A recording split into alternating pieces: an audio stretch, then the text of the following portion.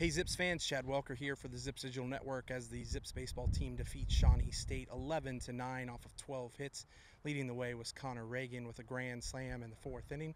Here are some comments from the catcher and from head coach Chris Sabo. You know, I think today we really need to understand that we have to pretty much simplify the game. Like we have to swing at the you know, offensively, we have to swing at the good pitches, take the bad, and you know, as you know, on the pitching staff, we just got to fill up the zone. I think that it's going to be a long weekend, you know, against BG if we do not fill up the zone, don't make the routine plays, and just are kind of getting out of our you know our hitting approach.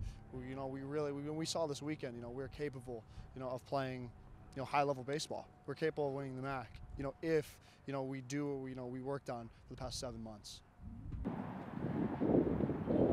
Um, how does the game like today? Uh, after, I mean, a good a good uh, split against Eastern last week. How does a game like today prepare you though for this weekend against Bowling Green?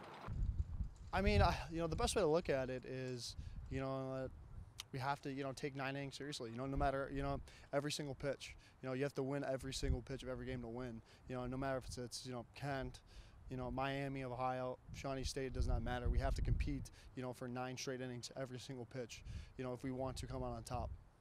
The leadership, the, the response, the calling of the game. I know Coach uh, Fay helps a lot with that as well, but just talk about uh, like your your play in the field defensively because it's it's it's an important role.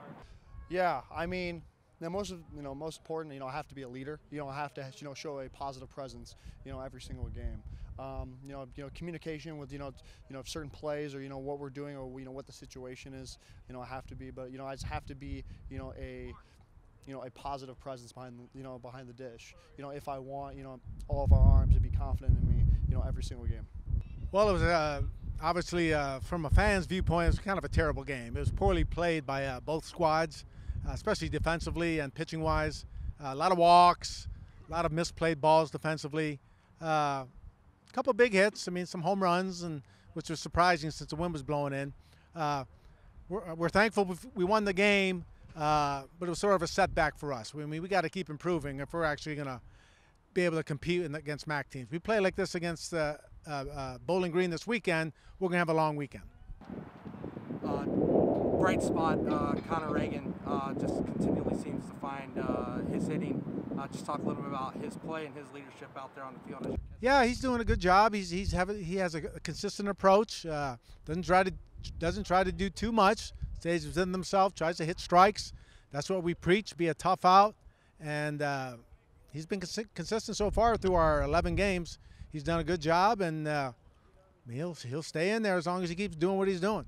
He's catching a good game also then uh, lastly, you do have Bowling Green uh, coming up this weekend. Just a little uh, small preview of this four-game series. Well, it's a MAC. It's a MAC series, so it's obviously very important. Uh, they're all good. All these teams are good. I don't care who you are. We're going to come to play.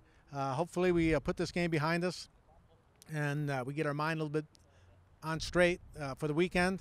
And like I said, we're going to have to play better than we did today Otherwise, it's going to be long. But uh, I'm confident these guys will bounce back. We'll have a good practice tomorrow, and then uh, play that 3 o'clock game on Friday.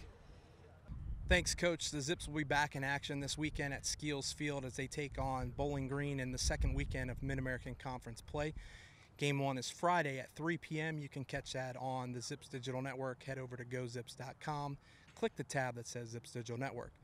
I'm Chad Welker for the Zips Digital Network. Have a great rest of your day, and as always, Go Zips!